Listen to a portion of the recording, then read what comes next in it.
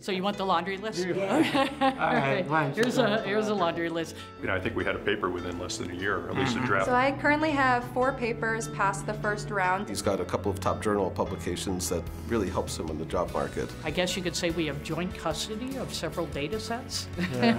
And then I think you have something like 15 conference presentations. We uh, actually presented this paper at a conference in Paris. I had a really good streak of like two years where I'd be doing three things per conference. The networking opportunity that uh, comes along with it. By the time someone gets on the market, we want people to recognize their name, certainly, but also to say, hey, I've seen her present.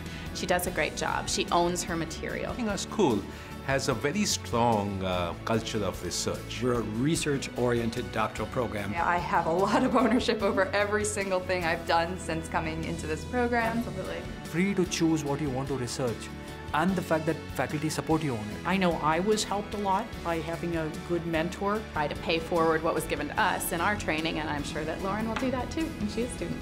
I'll have students.